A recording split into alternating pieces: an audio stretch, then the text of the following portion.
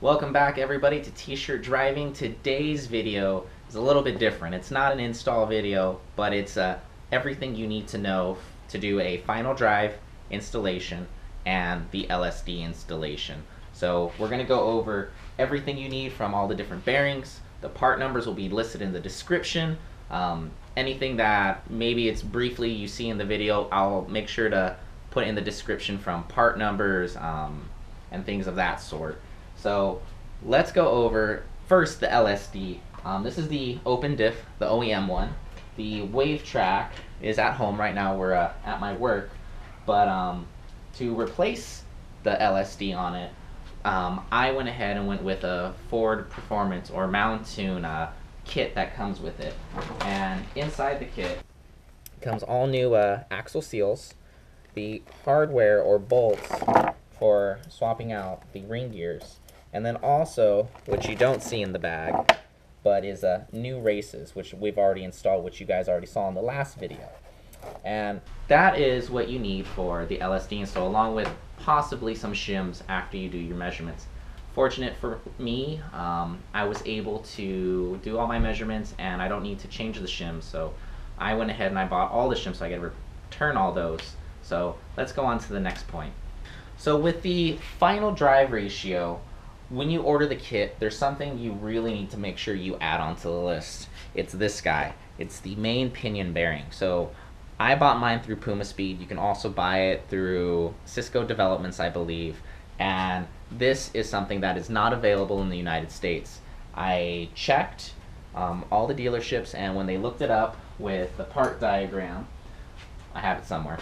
Um, and they, you know, checked their manufacturers and all that. Ford discontinued it in the United States. So the only way to get this triangular bearing, which goes on the output shaft,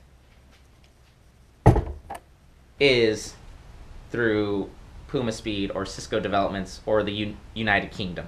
So that is a very important piece to get. You can't get it here again. The other things you need. You need three more bearings.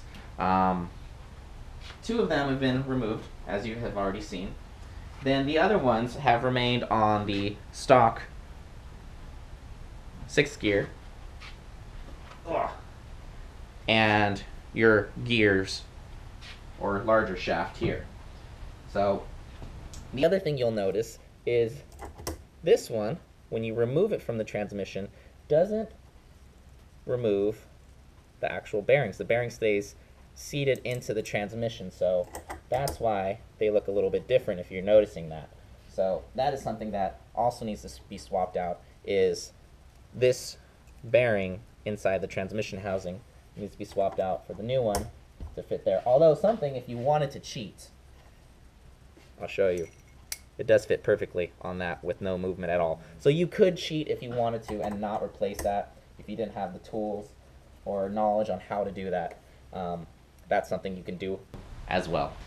So when you get your final drive kit, another thing you need is this retainer bolt. And the retainer bolt goes to the top of here and it holds in your main pinion bearing. As you can see on that, it holds it right in. To remove this, there was a lot of heat needed. Um, that when I took it to the transmission shop, they said they had to use a ton of heat to make sure that this came off. You can actually see the scorch marks because it had, you know, factory Loctite on there. Um, this is the new setup. And with the new setup, we've got the shorter final drive ratio in here. And all the gears have been pressed on. So they removed this bottom piece here. Kept the top one on because it's still on the, the factory one.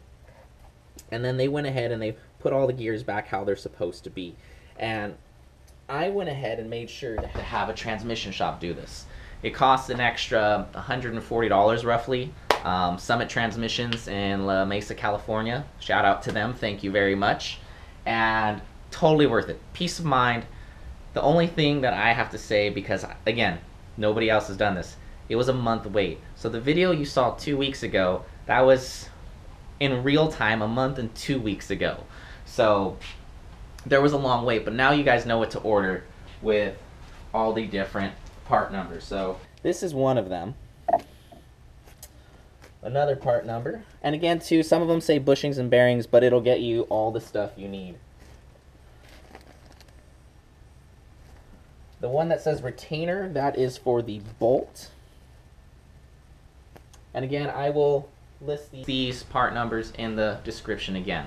Also, before I forget, this is going to be a, my shortest video, is if you want to see updates of things that are happening ahead of time before I make the videos, you can follow me on Instagram at t-shirt driving as well. Don't forget to like and subscribe and comment as well. I want to know your guys' opinions. I want to do a Q&A um, with answering your guys' questions and things like that. So go ahead, leave a question in the comments. Um, we'll be doing a Q&A once the entire engine is back together, which should be in a couple weeks. If you're following me on Instagram, I posted an awesome picture today of what is to come, what we've all been waiting for. So I'll see you guys next time.